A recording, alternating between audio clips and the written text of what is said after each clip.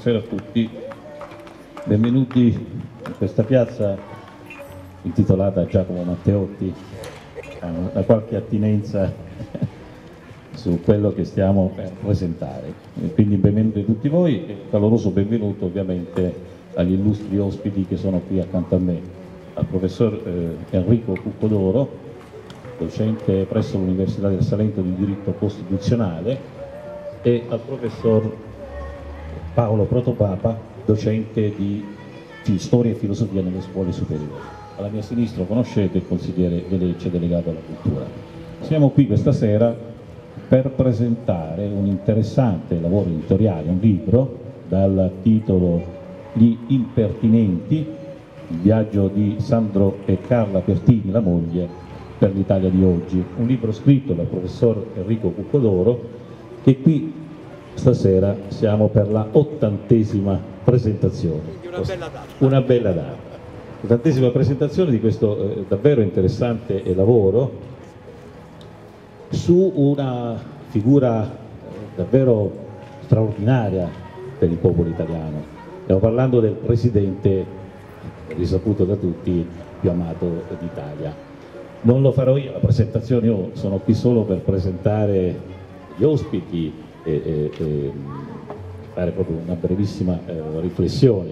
Gli ospiti, i, due professori che riconosco in loro, il professor Cuccoloro perché ho assistito alla presentazione all'Università del Salento e il professor Petro Papa perché l'abbiamo avuto ospite diverse volte qui a Saldo, sono davvero due grandi comunicatori, un eloquio raffinato in loro, a volte anche pungente, professor Petro Papa, eh, pungente nel senso, ma sicuramente eh, davvero eh, grandi comunicatori che ci renderanno questa serata sicuramente particolarmente interessante e piacevole.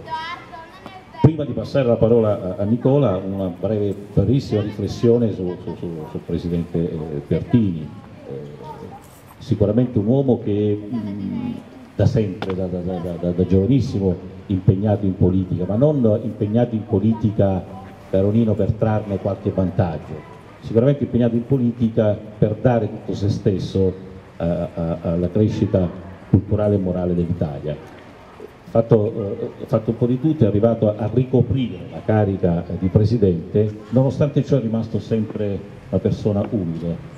Da presidente riusciva a passeggiare per Roma senza scorte, senza auto blu, senza nessun problema. Lui è riuscito nel suo settennato a come dire, eh, trovare quella giusta relazione, risaltare eh, quel giusto eh, rapporto che ci deve essere tra lo Stato e i cittadini, cosa che non sempre è accaduta, ecco perché lo ricordiamo davvero e mi piace ricordarlo stasera qui a distanza di 35 anni l'11 luglio del 1982 l'Italia vinceva i mondiali in Spagna.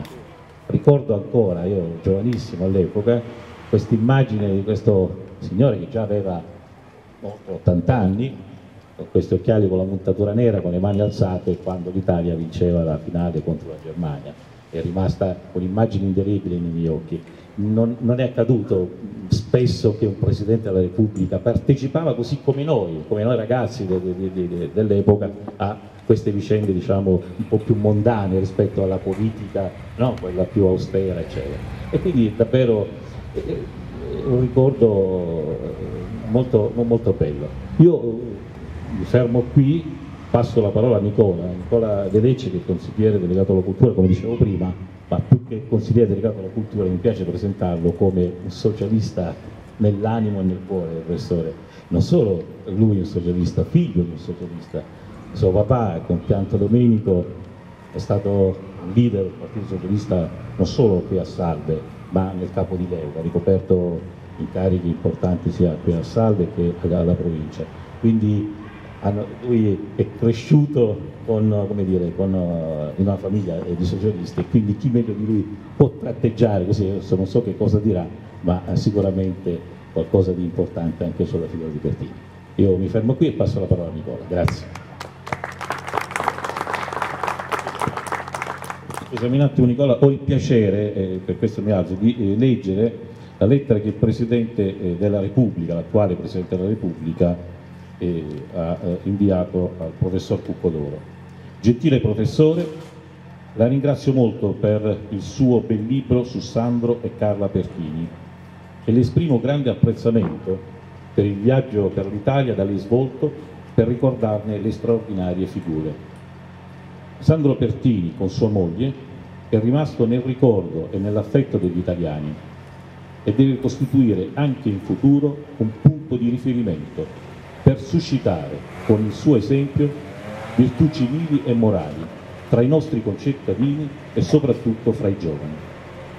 Nel formularle tanti auguri per il compito che si è assunto per farli ricordare adeguatamente, le invio i saluti più cordiali. Mattarella, Sergio. Nicola, te. Sì, buonasera a tutti. Eh, io mi associo chiaramente ai saluti che ha rivolto il sindaco eh, Vincenzo Passaseo, saluti nei riguardi del, degli illustri ospiti che sono presenti questa sera, degli illustri relatori. E I saluti al professore Paolo Protopapa che è stato il mio insegnante di storia e filosofia presso il liceo classico di Casarano che ho il piacere di avere ancora una volta a salve. E voglio cogliere questa occasione per ricordare che il prossimo 18 agosto il professore Protopapa eh, interverrà per presentare un suo lavoro, una nuova pubblicazione di un testo che ha il titolo ehm, eh, in nome del popolo sovrano, sudditi in democrazia. Quindi il tema è interessantissimo perché nel testo il professore Protopapa si sofferma su un'indagine molto approfondita e complessa sul tema della democrazia che evidentemente non, ritenere, non si può ritenere mai un obiettivo raggiunto e consolidato, ma deve essere eh, ognuno di noi deve eh, essere consapevole del fatto che la democrazia si può perdere, la, democrazia può essere, eh, eh diciamo, eh, non può, può, come ho detto prima, perdersi, può essere, non è un, quindi questo è un aspetto importante anche perché eh, il tema che affronteremo oggi eh, in qualche maniera si ricollega alla, al tema che poi affronterà il, il professore Protopapa perché Sandro Pertini fu uno strenuo eh, combattente per la democrazia. Eh, la sua vita, eh, la sua storia, anche politica, eh, è eh, connotata da tutta una serie di vicende che eh, ne hanno fatto in primo luogo una un combattente per la democrazia, uno che si è battuto a costo della propria vita per difendere la democrazia. Saluto il professore Cuccodoro e lo ringrazio per averci offerto la possibilità di eh, leggere questo testo che è interessante, io devo confidare a tutti voi che non ho avuto la possibilità di leggerlo con attenzione, l'ho sfogliato, ho colto però che ci sono aspetti interessanti della vita di Sandro Pertini perché Intanto mette in luce il professore anche la figura della moglie eh, e quindi eh, ci dà la possibilità di soffermarci anche sullo studio di questa personalità e poi tratta alcuni episodi riferibili all'impegno di Santo, Sandro Pertini nel Capo di Leuca, nel Salento e quindi anche questo oh, è un aspetto interessante, forse inedito della vita di Sandro Pertini. Io eh, sicuramente farò un breve intervento perché non voglio sottrarre tempo a chi meglio di me saprà tratteggiare la figura del Presidente Sandro Pertini, però ci sono ragioni di natura sentimentale, come diceva il Sindaco, che, eh, mi, per cui non mi posso sottrarre. Eh, e ho la voglia di dire qualche, qualche cosa. Intanto partendo da quella, da quella, che ripeto è la vita di Sandro Pertini che per certi aspetti è, è stata davvero rocambolesca, ci sono episodi che eh, lo hanno visto partecipe di, di, battaglie importanti, egli infatti è stato anche eh, ha partecipato alla prima guerra mondiale, è stato insignito della, della medaglia d'argento al valor militare per essersi distinto, anche, ha partecipato anche alla mh, battaglia di Caporetto, poi eh, si è impegnato eh, nella uh, guerra, seconda guerra mondiale ehm, e lì è stato condannato eh, dal regime fascista nei confronti del quale si è sempre battuto ha sempre condannato e si è sempre scontrato contro tutti i regimi totalitari, in particolare contro la dittatura fascista.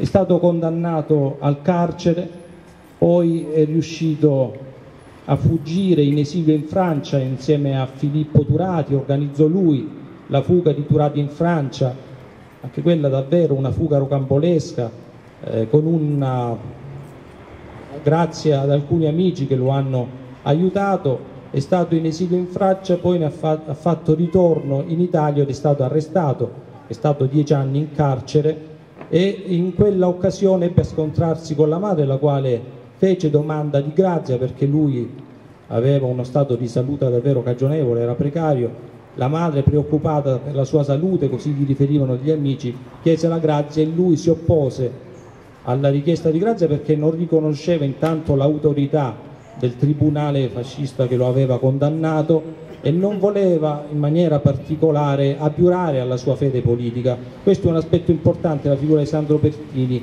la sua fermezza, la sua coerenza, la sua fede saldissima nei principi, del socialismo nei quali ha sempre creduto.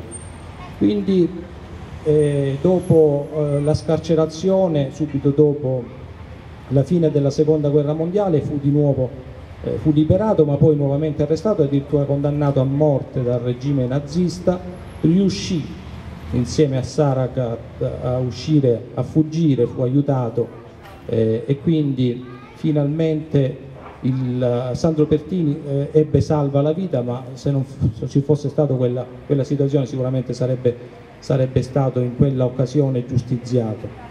Quindi eh, questo deve essere senz'altro, a mio avviso, già eh, la lettura della sua biografia, esempio per tutti noi, esempio per le nuove generazioni, per tutti quegli adolescenti che oggi, anche io lo sono stato e non mi sottraggo a questo tipo di critica, che oggi pensano che dormire sotto la calda coperta della democrazia sia in qualche maniera un qualcosa che c'è stato eh, dato che non è invece una conquista, eh, si è ottenuta al, al, prezzo della vita di tanti giovani partigiani che hanno lottato per ottenerla e quindi eh, questo deve essere sicuramente da insegnamento la vita di Sandro Pertini.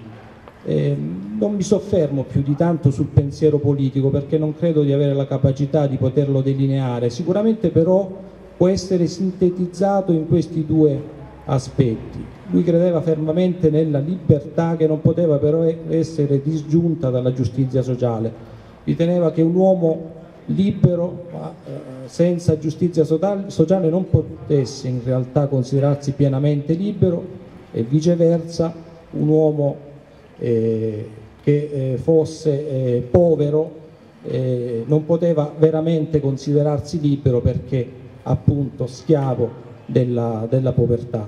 Quindi sostanzialmente lui credeva in questo, nella libertà e nella giustizia sociale. È stato un presidente che si è fatto amare molto dagli italiani, in effetti è considerato il più amato dagli italiani ed è stato il più suffragato anche eh, nella occasione in cui poi fu eletto Presidente della Repubblica, primo Presidente del Partito Socialista Italiano, secondo del socia Presidente Socialista dopo Saragat che fu il primo presidente socialista. Nel suo settennato poi nominò presidente del Consiglio Bettino Craxi, quindi per due anni in Italia ci fu il primo presidente socialista del Partito Socialista e il primo presidente del Consiglio del Partito Socialista. Diciamo che è una figura, ripeto, molto amata dagli italiani e oggi viene rivendicato da tutti, un po' da tutti, è una figura trasversale, addirittura anche Forza Nuova leggo oggi su Facebook che pubblica eh, dei messaggi laddove si, si, si, mostra la figura di Sandro Pertini e si attribuiscono a Sandro Pertini dei messaggi che lui mai avrebbe potuto eh, pronunciare. Però questo è il segno di quanto in effetti questa figura oggi viene ancora considerata e non può essere dimenticata.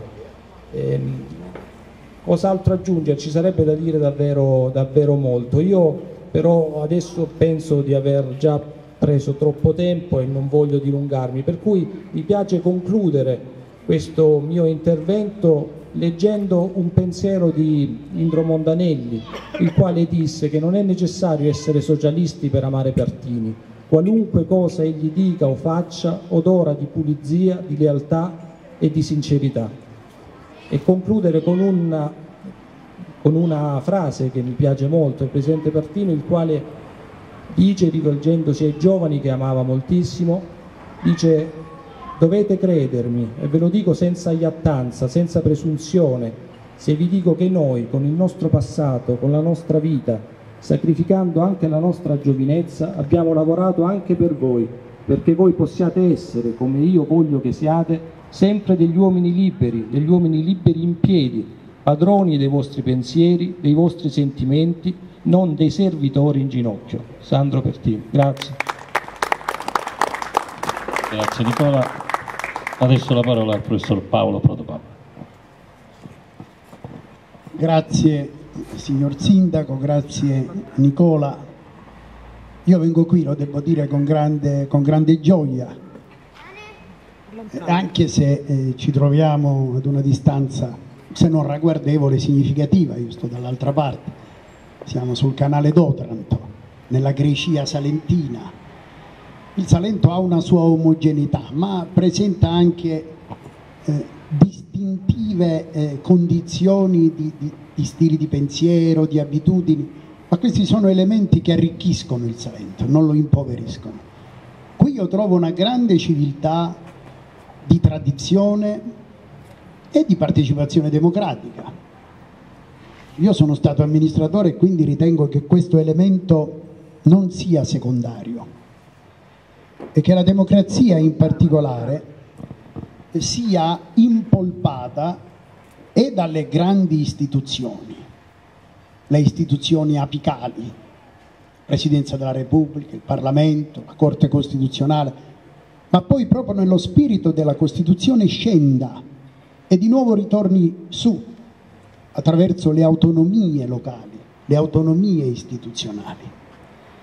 E quindi parlare di Pertini non è semplicemente parlare di una grande, straordinaria personalità, è l'occasione preziosissima di parlare della nostra democrazia e di contribuire, anche se con un sano realismo di prudenza, di non precludere le possibilità di una sua, come dire, eh, sana eh, ripresa in un momento di grande difficoltà.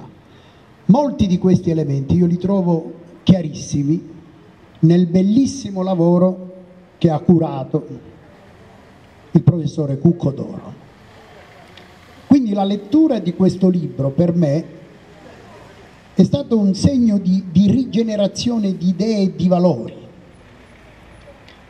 e anche il conforto, se vogliamo, che chi come noi spesso lavora in modo solitario, appartato su certi temi, che in alcuni momenti sembrano temi, se non obsoleti, in qualche modo desueti, cioè fuori da quella vita politica intensa che abbiamo vissuto quando i cardini della democrazia, cioè i partiti politici, le sezioni, i grandi ideali, hanno costituito la bussola, l'orizzonte orientativo della nostra prassi e anche della teoria di cui si alimentava la prassi e che la prassi alimentava a sua volta. Quindi io devo ringraziare doppiamente l'ingegnere sindaco che mostra una bellissima sensibilità per questi temi e che continueremo appunto in agosto ragionando sul mio piccolo, sul mio libretto io sono stato per 30 anni un professore di, di filosofia e di storia e anche di educazione civica. Io dico nel mio libro, ma ribadisco qui, che uno degli elementi estremamente negativi nella formazione è l'aver abbandonato questa disciplina. Prima perché i professori di storia e filosofia non annettevano grande importanza all'educazione civica, probabilmente perché non ne avevano i fondamenti, perché i fondamenti dell'educazione civica non possono essere di carattere generico, puramente sentimentali o eticistici, ma debbono avere una sostanza giuridica, ordinamentale, di diritto pubblico, di diritto costituzionale, al limite anche presupposti di diritto romano. Naturalmente c'è una grande eh, suggestione greca nella democrazia, la polis, Aristotele, la politeia, le riflessioni di Platone, ci possiamo mettere tutto. Ma la sostanza nostra oggi è che la dimensione educativa del cittadino è estremamente carente. E questo lo dico soprattutto alla luce di una bella riflessione e affermazione del professore Cuccodoro, quando in uno dei momenti che illuminano la figura di Sandro Pertini sottolinea come ci sia in Pertini la pedagogia istituzionale pedagogia istituzionale è una formula densa, ha un valore etico, un valore giuridico, ha un valore ideale. E questa figura che per molti, superficialmente, è stata considerata soprattutto di tipo pratico, quest'uomo che decideva, che agiva, che era stato partigiano, quindi chiamato alla praxis, l'impegno, al dovere dell'azione quotidiana per salvare la libertà e la giustizia sociale. Io invece pensavo, sin dagli anni Ottanta, quando Pertini assunse la massima magistratura dello Stato, che in Pertini ci fosse una grossa dimensione teorica. E non poteva non essere così, non solo perché i suoi studi giuridici lo accreditavano, e poi il completamento dei suoi studi sociali. Questo è un altro elemento estremamente, eh, un gioco di parole, pertinente alla figura di Pertini, che giustamente un professore di, di, di lungo corso come Cuccodoro sottolinea e inserisce nel contesto teoretico più giusto. Perché chi si forma nelle facoltà universitarie di diritto, ma poi frequenta la Cesare Alfieri, che è una grande scuola di formazione sociale e politica, e tu citavi Montanelli. Montanelli, per esempio, che non era un mio punto di riferimento dal punto di vista culturale, tutt'altro, e però aveva lo spessore, eh, il retroterra, e veniva dalla Cesare Alfieri. E, e, e, di tante altre personalità. Valdo Spini, per esempio, che ho avuto l'onore di trovare come presentatore eh, del mio saggio, che ho avuto il piacere e l'onore di conoscere, ha frequentato la Cesare Alfieri. Voglio dire, si tratta di, di, di luoghi culturali, di fucine del pensiero e dell'azione, che non sono scorporabili dall'azione concreta dell'uomo di Stato, del politico. Guai se noi non comprendessimo che la politica come riflessione e azione della polis ha bisogno della teoria ha bisogno della conoscenza e la conoscenza avviene con lo studio, con la riflessione, ma avviene soprattutto, ed ecco l'elemento bello che io sento di, di dover sottolineare, con una sorta di missione civile. E qui mi riferisco al lavoro egregio che una figura come il professore Cuccodoro, io vorrei sembrare cortigiano, però ho trovato davvero che l'originalità di questo libro tra le tante caratteristiche, e che viene curato, ispirato, organizzato accanto ad ottimi collaboratori, eh, da una missione. Chi gira tutta l'Italia, l'ottantesima tappa, e dovrebbero farlo in centinaia, A me piacerebbe che molti suoi colleghi, eh, mi scuso per la mia hubris, ma molti suoi colleghi, bravissimi tecnici del diritto, comprendessero che il diritto costituzionale in particolare, ma io dico tutto il diritto, ha una missione in re ipsa, cioè di per sé stesso. La missione non ce l'ha soltanto il medico che cura la salute materiale. Almeno tre o quattro categorie fondamentali devono averla. Sicuramente i professori, che hanno il privilegio e l'onere di formare le nuove generazioni. E se poi c'è una crisi della democrazia, bisogna assumersi anche la responsabilità educativa che è mancata. E qui dico tra parentesi che non si può affidare un insegnamento generico di educazione civica soltanto a dei tecnici del diritto che discettano sulla tecnica e sulla procedura, la quale è fondamentale indubbiamente ma deve ragionare sui contenuti. E mi pare che nel libro ci sia questo eh, attraversamento intelligente del diritto e della politica come ispirata soprattutto dai valori di cui la democrazia si nutre. E quando si dice libertà e giustizia sociale, che sembra quasi una formula sacra, chiesastica, ma che è fondamentale. Non si può essere socialisti, ma io che socialista lo sono stato poco e per poco tempo e per mia sfortuna nel crepuscolo dell'ideale socialista, per le vicende che noi lasciamo sullo sfondo, e che sono stato invece un comunista, credo, onesto, serio per quello che può significare serietà nella politica, ho trovato che la democrazia ma io dico in particolare la nostra democrazia, privata di questi due pilastri fondamentali della libertà e della giustizia sociale, poi da vecchio comunista io dico anche l'uguaglianza, è priva di ogni significato democratico, è contraddittoria con se stessa.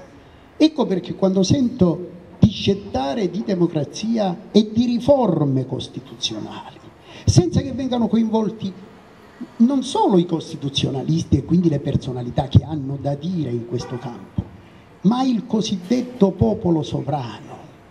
E il popolo, se è sovrano in qualche modo, deve essere assolutamente coinvolto nella vita della democrazia. E qui troviamo in questa figura meravigliosa di Pertini e nella sottolineatura che ne viene fatta da parte dei curatori anche degli interventi singoli, si tratta di oltre 50 interventi. Eh Sfido a trovare una bella pubblicazione così ricca, così corposa.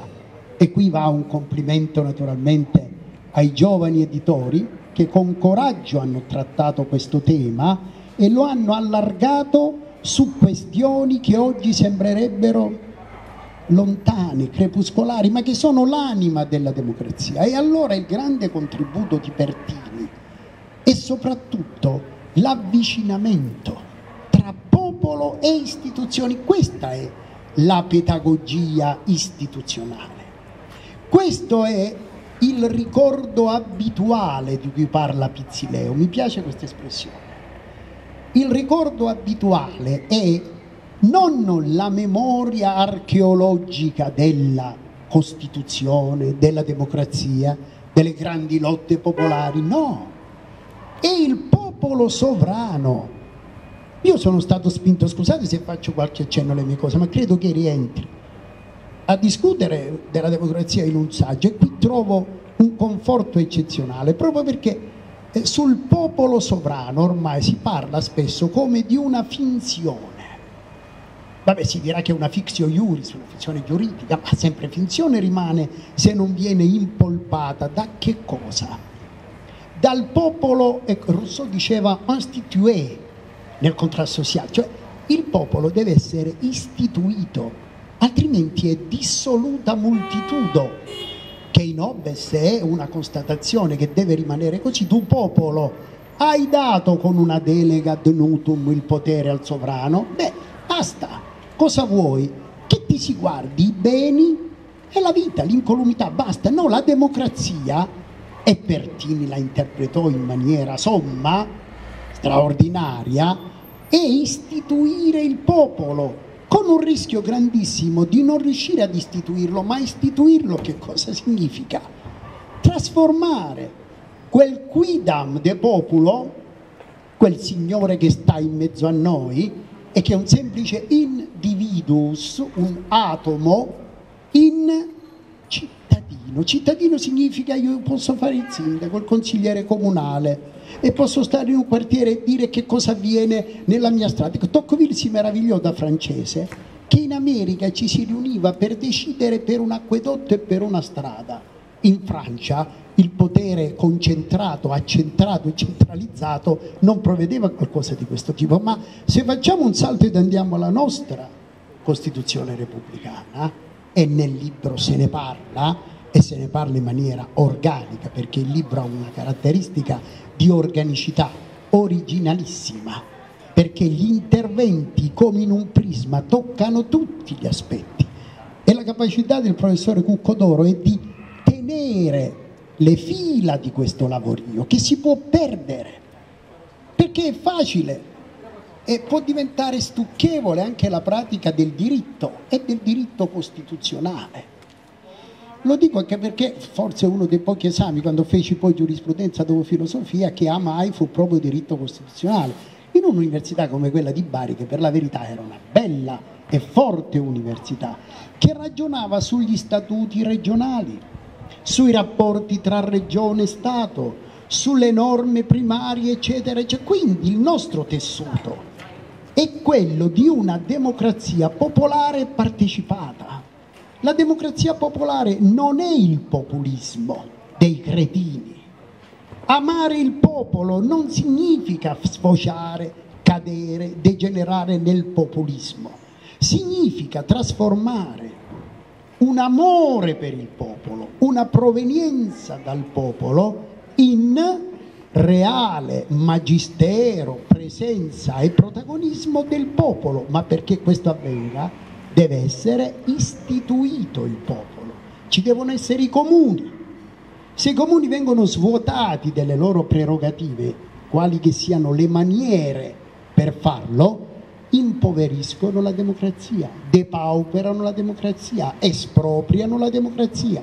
E permettetemi di dire, se eliminano le province senza sostituirle con qualcosa di utile, eliminano l'identità culturale, etica di una nazione. La provincia non è un'invenzione artificiosa e artificiale, certo che il diritto per sua natura è artificio, è tecne, è procedura, ce lo insegna in maniera eccelsa Boppio, ma proprio attraverso la lettura confermativa di questo libro si capisce come un uomo come Pertini abbia perfettamente incarnato in uno snodo cruciale della storia italiana, gli anni Ottanta, perché gli anni Ottanta non sono anni qualunque.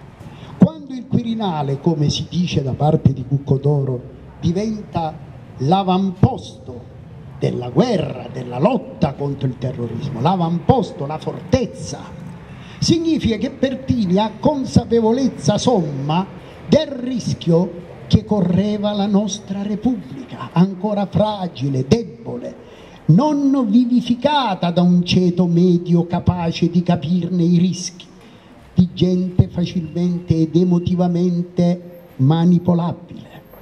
E allora Pertini diventa la cerniera istituzionale che tiene il popolo e le istituzioni. Ecco la magistratura morale, la grande magistratura morale, un'altra bellissima formula che prendo da Cuccodoro, che prendo da Nardelli, che prendo da coloro che hanno piena consapevolezza di parlare di cose serie, cioè quest'uomo forte che sembrava soltanto un uomo d'azione e forse per alcuni un uomo dell'Ottocento o dei primi del Novecento, ma viva Dio proprio questo suo radicamento nel secolo precedente. Qui penso ad Hegel quando dice che la storia non fa salti, non ha scorciatoie. Poi sì, ci sono le rivoluzioni che cambiano per fortuna tante cose, ma sotto nelle viscere un terreno comune, un radicamento, un tessuto che fa faccia di un paese una comunità che ha identità, che ha valori comuni. Ecco allora la grande passione giovanile. Lui era giovanissimo pur essendo anziano negli anni, ma nella sua simpatia verso i giovani, dai più piccoli, bellissima la foderina, la, la, la, la copertina di Forattini con questi bambini no? che diventeranno poi cittadini, ma queste migliaia di giovani che lui incontrava continuamente non avevano nulla del sentimentalismo, del folklore, del familismo, assolutamente no, avevano un valore educativo avevano un valore pedagogico, avevano un valore ideologico. Il cittadino deve sentire le istituzioni come proprie, non sono del sindaco, i comuni, tanto meno della provincia, figuriamoci della regione. Io quando vedo una sorta di, di cowboy no? nelle stanze del potere e rabbrividisco perché l'umiltà di personalità come Pertini, dico proprio umilitas nella maniera latina, star giù, star da quella parte. Quando vedo tutto questo e lo raffronto a certi, dico cowboy, addirittura che assurgono a cariche potentissime a livello internazionale, ma insomma cado nel pessimismo più, più greve. Cioè com'è possibile che le grandi democrazie che hanno dato lustro e orientamento ai grandi equilibri internazionali possano con i sistemi odierni raggiungere un potere così incontrollato. Ecco allora la forza della discussione su personalità e azioni politiche che attraverso un pellegrinaggio laico, laico come era Pertini, quindi la svolta nel periodo del terrorismo, la svolta nel chiamare alla massima carica esecutiva alla presidenza del Consiglio, prima il tentativo con la Manfa, altra grande figura storica, e poi con Craxi. Pensate che Craxi, tra l'altro, non è che fosse molto contento di una candidatura Pertini alla presidenza, perché Giolitti era un, sempre una bella figura, era di un'altra generazione, ma pensate quanto fu lungimirante quell'unanime elezione di Pertini in un momento in cui, come negli anni Ottanta, strage di Bologna, Bachelet, terrorismo, occorreva un uomo, ah, uso questa formula, non d'altri tempi, in senso caratteriale, quasi folclorico, no, un uomo con le riserve, con le armi, con la vita di altri tempi che lo proponevano come custode della democrazia, della Costituzione, Vox Costituzioni, è molto bello, significa questo. Quindi se da questo libro, da cui si può ricavare moltissimo in tanti campi, ricavassimo che la Costituzione è fondamentale, che chi la vuole cambiare fa bene, ma lo deve fare rispettandola, che non si possono fare cosiddette riforme costituzionali incidendo sull'anima popolare della Costituzione, sulla struttura istituzionale di un paese che certo non può scivolare nell'irresponsabilità, quindi nella, dire, nel, nel puerile gioco di una perdita e frantumazione del senso dello Stato, della pulizia, eccetera, ma che deve mantenere, perché la Costituzione è lungimirante, così come la riflessione su Pertini è lungimirante, il senso prospettico dell'ordinamento pubblico, ma bisogna conoscerlo e per amarlo e per difenderlo bisogna studiarlo, ecco la funzione educativa delle scuole perché lo fanno a livello istituzionale, direi per contratto, ma è questo un modo di fare scuola e lo fa il sindaco quando non facendo una lezione di diritto pubblico, però come accadeva negli anni 50 e 60, noi abbiamo avuto sindaci che non si limitavano a decidere di una strada. Noi a Martano abbiamo avuto un'amministrazione popolare di sinistra, comunisti e socialisti, con indipendenti, diciamo, di buona volontà, nel 50, quando i signori capirono che dovevano lasciare il passo ad un sistema nuovo di partecipazione popolare. Nascevano i giardini pubblici, le pubbliche latrine, le panchine per il pesce, i servizi igienici, si costruiva la società, si costruiva la democrazia, perché la democrazia è work in progress, è lavoro quotidiano, è ricordo abituale, ogni giorno, ogni momento, non puoi dire ma era così, non è più così, ma che significa? Ma davvero noi pensiamo che basti pigiare un bottoncino e si possono individuare, eleggere e candidare le persone, senza confronto, senza dibattito. Ma insomma da questo punto di vista l'agora della polis era questo momento in cui si stava insieme e si ragionava come adesso. Perché perderla questa realtà? Allora io vedo in Pertini e nel modo in cui è stato scavato, sceverato Pertini. Guardate, io ho trovato questa grossa sorpresa da una parte, ma occasione felicissima nello stesso tempo, di aver individuato nel curatore bravissimo di questo libro, il professor Cuccodoro, professore di diritto costituzionale bravo, bravissimo, va bene, ce ne saranno cento? Sì, ma il quid pluris dove sta? L'elemento innovativo rispetto alla tradizione costituzionalistica, almeno per questo libro, nell'intimità, nella conoscenza familiare, che certe volte potrebbe far velo, che ai cortigiani del diritto, agli accademici eh, paludati, non offre eh, occasioni di, di indagine teoretica, perché diventa che cosa? Ma diventa viaggeria, no? Qui invece che cosa c'è? C'è una grande ammirazione per quest'uomo e questo diventa il veicolo per conoscere, ammirare e proiettare le qualità di quest'uomo oltre la siepe, oltre il muro e quindi ad indicare in una figura prestigiosa, amata, dico tra parentesi Nicola che fu anche molto mal sopportata da molte parti, eh? io ero leggermente più grande di te, quindi ero nel pieno della mia maturità, forse anche intellettuale, amministrativa e politica in quel tempo e sentivo le reazioni degli idioti, degli irresponsabili e dei qualunquisti, che non avevano compreso che in quell'uomo schietto e molte volte brusco, perché era brusco, e poi la schiettezza eh, crea certe volte un'antipatia, c'era un grande amore per la nazione, meno per lo Stato, o più esattamente, Stato e nazione non erano scissi.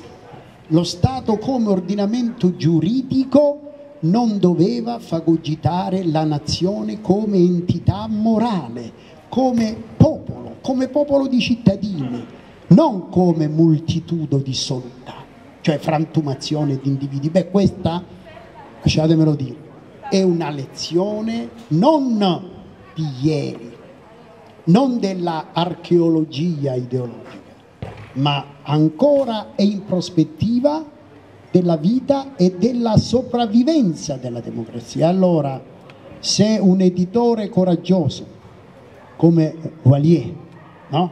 perché è una lettura francese quella della vostra casa, ed un professore robusto, scusami, sai, non dico stagionato, ma la stagionatura per i professori è sempre segno di maturità. Ecco, forse dovrebbero proporre dopo i 65 o i 70, un po' come si faceva nell'antica Grecia, che i professori che ancora mantengono un po' di lucidità mentale, che quindi non hanno ancora una forma di, di, di, di follia, tornino ogni tanto, non sarà il suo caso perché magari è più giovane, forse ecco, lo, lo, dico per fatto personale, avendo maturato un senso eh, eh non ideologico, non di falsa coscienza, ma di concretezza etica, beh ogni tanto tornassero a dare qualche non dico lezione, ma qualche consiglio ai giovani professori che forse questo aspetto educativo della democrazia lo trascurano e quindi lasciano la gente in preda ai primi suonatori di piffero che ci portano con loro in eh, spazi che forse noi non saremo in grado di controllare. Quindi se devo dire sinceramente un grazie sia per e ci ha fatto conoscere ancora più in profondità questa coppia meravigliosa. Io non ho parlato neanche di, di, di, di Carla, perché li vedo insieme, questo, questo è un tutt'uno, no? per cui è, è, difficile, poi si completano, poi magari saranno stati una coppia estremamente dialettica, immagino, due personalità forte, forti, eh, non è che, che si accettino facilmente, ma è lì l'arricchimento. Parte poi che quella fu una personalità bella e importante sul piano di certi settori della cultura. Ma voglio dire, Pertini è il pretesto, in senso buono, è l'occasione per una riflessione seria e impegnativa sulla democrazia, che non può vedere i cittadini rassegnati o latitanti e che quindi per chi come il professore Cuccodoro si dedica a questa missione etica e culturale insieme, beh, deve andare necessariamente il nostro applauso e quindi la lettura ordinata, seria, riflettuta di questo bellissimo libro. Vi ringrazio per avermi lasciato parlare tanto.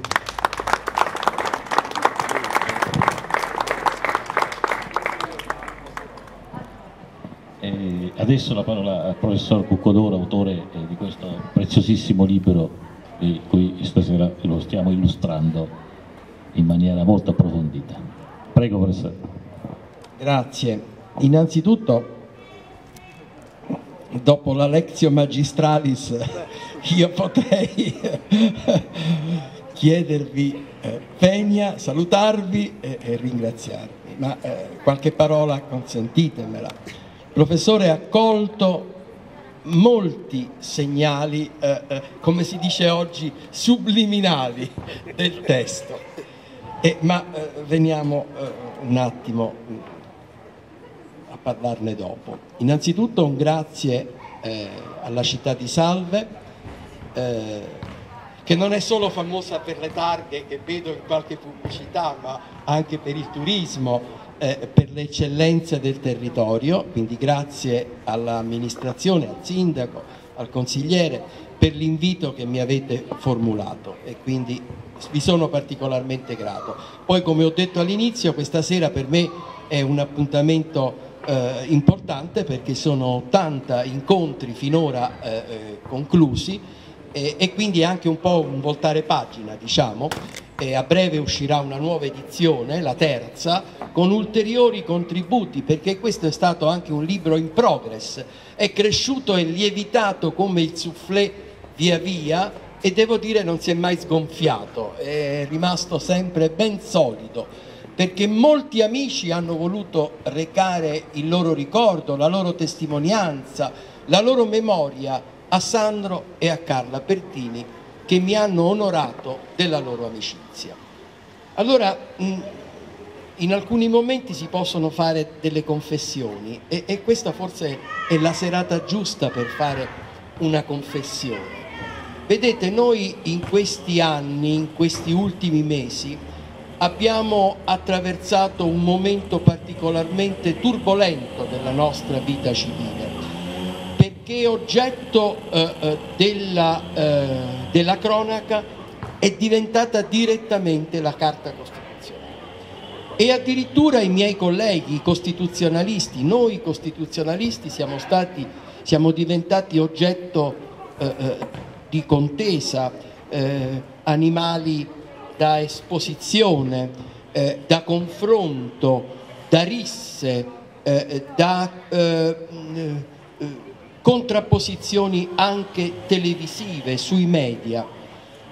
E, e, francamente questo a me ha eh, profondamente addolorato perché si è dimenticato quello che diceva prima il professore, cioè l'idem sentire de Repubblica, la Carta Costituzionale è un valore che ci deve accomunare, non ci deve mai dividere, è uno dei valori di fondo della nostra democrazia. Se salta, salta il sistema, salta il Paese, salta la Repubblica.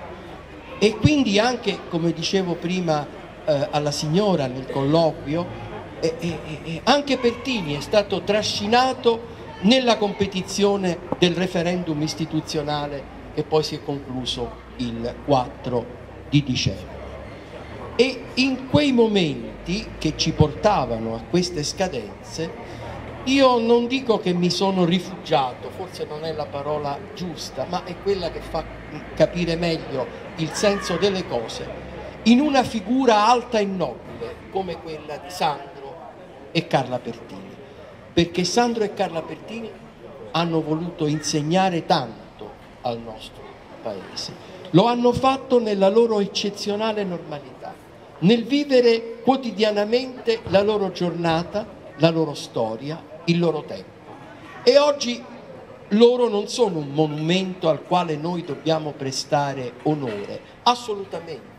Pertini non l'avrebbe mai voluto questo, non era un'icona, non era eh, eh, diciamo, una figura eh, eh, di ossequio come si può trovare nelle piazze, eccetera. Anche se vedete il paese sta dedicando in questi ultimi tempi a Sandro Pertini moltissime opere, strade, ponti, ospedali, aeroporti. L'aeroporto di Torino oggi porta il nome di Sandro Pertini. Addirittura vi dico c'è una competizione nella città di Orvieto per un nuovo ponte che si vuole dedicare alla figura di Sandro Pertini, oppure il piccolo porto che siamo riusciti a far dedicare al ricordo di Pertini nella eh, isola di Alicante una delle sette isole delle Eolie, perché Sandro Pertini guardava alla gente, non al numero delle persone, non agli elettori. E lì nel, nella piccola Licudi 200 disperati si rivolgono a lui come ultima spiaggia. Gli scrivono perché non hanno la luce, perché gli aliscafi non possono approdare, le istituzioni non rispondono e allora gli abitanti circa 200 persone, disperate come mai, dopo uno sciopero della fame, si rivolgono a Sandro Pertini. E Sandro Pertini il giorno dopo invia un telegramma e dice sono con voi.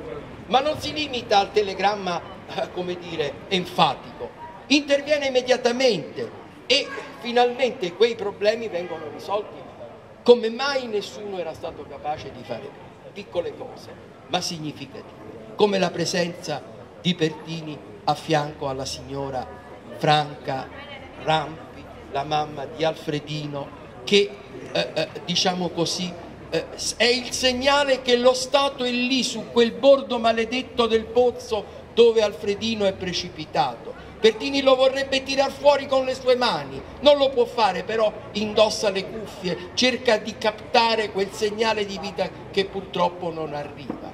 Ancora vicino ai terremotati dell'Irpinia, no? eh, Pertini sente, eh, non ascolta nessuno, va immediatamente, mai un Presidente della Repubblica era stato presente sul luogo del fatto, dell'evento. Lui non sente ragioni, entra in lotta anche con il Presidente del Consiglio Forlani e lì, vicino ai terremotati. Come lì sulla piazza maggiore di Bologna con la mano ferma sulla bandiera vicino al sindaco Zangheri, non parla, è muto come un pesce, ma testimonia la presenza dello Stato. Pertini mette il suo corpo, Kantorowicz, al servizio dello Stato. Lui, la sua figura mingherlina, un uomo che ha superato gli 80, non ascolta nessuno, vuole essere vicino al popolo. Pensate, lo fa anche negli ultimi mesi della sua missione al Quirinale, venendo qui nella nostra regione nel febbraio dell'88, del 78, dell'88 scusate, dell'85, 85, a Castellaneta, quando un intero palazzo in una notte implode e trascina con sé decine di persone.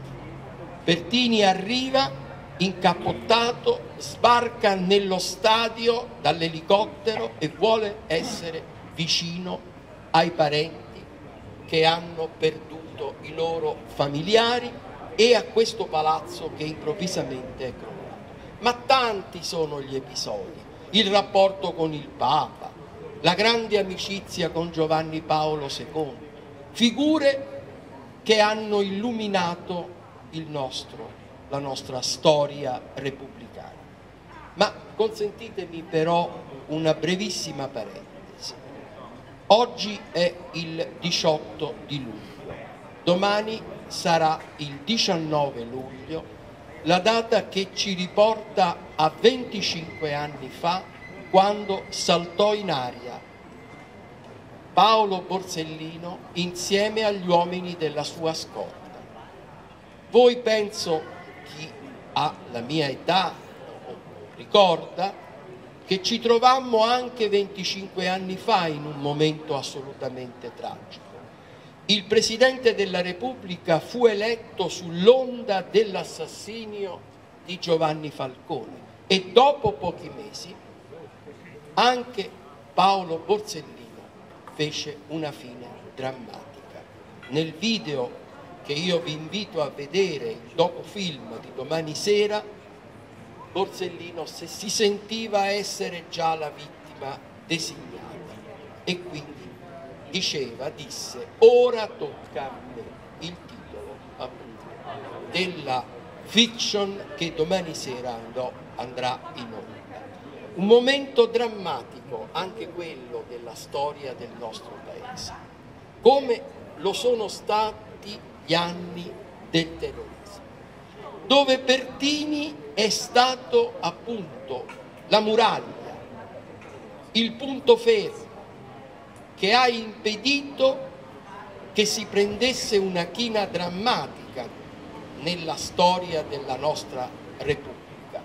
Quando quando il leitmotiv era né con lo Stato né con le brigate rosse, cioè l'indifferenza, la tarassia, lasciamo che le cose vadino, ma scherziamo, Bertini si rimboccò le maniche, pretese che gli operai della Genova eh, eh, eh, che assistevano ai funerali di Guido Rossa che lavorava all'Italsider genovese prendessero posizione. Perché Pertini disse non vi parlo da Presidente della Repubblica, vi parlo da compagno Sandro, da colui il quale ha combattuto le brigate fasciste e che non possono essere confuse con questi sedicenti brigatisti. Voi dovete stare dalla parte della democrazia, dovete lottare per lo Stato, non potete rimanere indifferenti, perché altrimenti i terroristi avranno campo libero, ci travolgeranno. Ecco. E da quel momento la gente cominciò a capire, soprattutto gli operai, le, le masse, i giovani, dettero un fortissimo contributo e l'Italia superò gli anni del terrorismo senza troppe leggi eccezionali. Guardate quello che è successo pochi mesi fa in Francia. Presidente Hollande, socialista, che non è stato riconfermato, dove sono state imposte delle leggi durissime. In Italia questo non è accaduto, perché c'è stata la muraglia popolare, il popolo a un certo punto ha fatto fronte, si è ribellato, quando cadevano giornalmente magistrati, militari, eh, professori universitari, forze dell'ordine, sindacalisti. Ecco, anni difficilissimi che noi non possiamo dimenticare, sindaco, perché ne va del nostro futuro. Senza memoria non c'è futuro. Questo è, è, è uno slogan che noi dobbiamo richiamare nei momenti difficili, perché purtroppo il nostro paese di momenti difficili ne ha attraversati e ne attraversa perché io vorrei che voi poteste rileggere, guardando anche le pagine del libro, il famoso discorso di Pertini quando viene in terra di Puglia il, eh, nei primi giorni di marzo del 1980 e a Turi dove riceve la cittadinanza onoraria, attenti, dove torna da Presidente della Repubblica nella cella che lo ha visto confinato dal regime fascista. Pensate questo uomo di oltre 80 anni che intima soddisfazione può avere nell'anima essere il Presidente della Repubblica, lui che è stato confinato, ha perso la libertà, ha visto il cielo attraverso le sbarre eh, delle prigioni, molte di queste pugliesi, eh? trovarsi in quella cella, compagno di cella di confine di Antonio Gramsci, tornare lì da capo dello Stato, da Presidente della Repubblica, una gioia, un'intima gioia per quest'uomo che aveva combattuto e che soprattutto diceva io non voglio, non voglio che le nuove generazioni debbano conoscere l'amaro prezzo che abbiamo dovuto conoscere noi, le bastonate, le sofferenze, i pidocchi, gli amari eh, confronti. Ecco, queste sono pagine che noi non possiamo dimenticare, pagine di eroismo, pagine di combattimento, pagine che ispirano libertà, pregne di giustizia sociale, di incoraggiamento perché la nostra Carta Costituzionale sia un valore di fondo che ci consenta di realizzare anche le scelte più avanzate la democrazia sostanziale, non le belle parole, non i comizi, non i bei discorsi. Pertini non faceva discorsi, Pertini parlava col cuore, perché era un uomo che aveva sofferto, che aveva combattuto, che aveva lottato perché noi oggi possiamo avere questi frutti, che non possono essere frutti avvelenati, non possono essere frutti amari devono essere sempre i migliori frutti possibili. E allora il contributo dei giovani, delle nuove generazioni. Chi può innovare deve mettere anche il suo contributo al servizio degli altri e delle future generazioni. Solo così la democrazia avanza, solo così la democrazia può avere speranza, altrimenti come un fiore si appassisce, si ripiega su se stessa. Vedete, io prima dicevo, l'America per molti è stato un faro di democrazia, di libertà, di uguaglianza, di valori di fondo, no? Purtroppo, se la democrazia non viene custodita, non viene curata, educazione alla, alla legalità, al futuro democratico, si arriva a tensioni come quelle che in questo momento l'America conosce. Era impensabile, inimmaginabile si arrivasse ad una tensione fra la politica da una parte e la magistratura dall'altra, proprio nella terra della Corte Suprema americana. Eh? Del faro della libertà, Paramount Law, dicono eh, eh, gli americani, no? di questo faro di democrazia, la Corte Suprema, il modello di tutte le corti costituzionali del mondo. Ebbene, l'America in questo momento conosce queste tensioni. Questo ci deve ammaestrare, ci deve far pensare, ci deve invogliare soprattutto alla educazione alla cittadinanza e alla cittadinanza consapevole. Non ci possiamo eh, eh, interrogare del perché il paese non gira, non funziona, se poi una gran massa di cittadini non partecipa alla votazione. Noi stiamo crescendo nella soglia di indifferenza e di non partecipazione al voto. E questo naturalmente è un fattore negativo, no? Gravis gravissimo e molto deleterio. Ma tutto questo si lega alle prospettive appunto de di democrazia e all'incoraggiamento, no?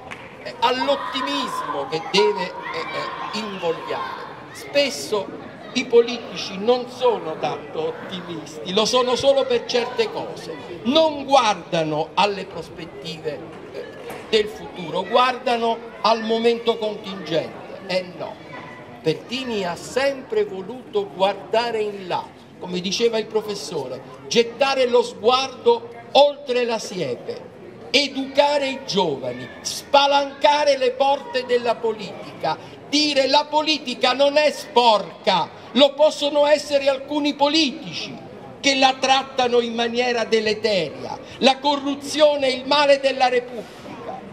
La politica va fatta con le mani pulite. Ecco il grande messaggio, l'attualità dell'insegnamento di Sandro Pertini. Perché nel libro c'è scritto per l'Italia di oggi? Questo è l'insegnamento che io ho voluto dare, cioè guardare a queste figure, quella di Sandro e quella di Carla, non come due modelli ideali, ma come due grandi educatori che ci possono insegnare a tenere la barra dritta, a non dover deviare, a non dover eh, curvare, ma guardare alla prospettiva dello sviluppo dell'Italia appunto in chiave di progresso, di libertà, di giustizia sociale, di pace e di uguaglianza. Ecco i grandi valori, i grandi insegnamenti eroici di queste due figure eccezionali nella loro normalità. Vi ringrazio. Grazie professor Cuccodoro, avevo detto, avevo anticipato che sarebbe stata davvero una serata piacevole. I due professori, il professor Protopapa prima e il professor Cuccodoro dopo eh, ci hanno davvero donato momenti così di arricchimento culturale legati sicuramente alla vita di Pertini ma non solo, ha fatto uno spaccato della vita dello Stato italiano almeno degli ultimi 50 anni, è stato per me sicuramente un momento eh, di crescita, immagino anche per il pubblico eh, presente, e che ringrazio per la pazienza di aver avuto sin qui, se qualcuno del pubblico presente nel pubblico vorrà fare, vorrà porre delle domande sia al professor Cuccodoro che al professor Protopapa, noi siamo qua eh, eh, a disposizione per eventuali chiarimenti, per eventuali così, domande. C'è qualcuno, intanto nel frattempo dico che di là è allestito un tavolino dove è possibile acquistare il libro che questa sera abbiamo illustrato, Gli Impertinenti, un libro che racconta la storia di appunto di Sandro Pertini e la sua consorte Carla. Se non ci sono domande noi vi ringraziamo, ringrazio ancora una volta il professor Cucodore e il professor Protopapa, le copie il professor Cucodore è disposto anche a firmarle e quindi eh, con, dedica. con dedica. Grazie. Non c'è nessun intervento? Grazie a tutti. Certo.